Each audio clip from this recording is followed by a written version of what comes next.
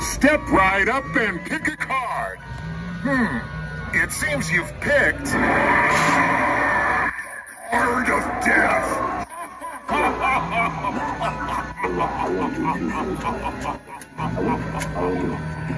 These are my I'll have any rules. Wanna play a hand? Stakes are high, and you may lose your wife.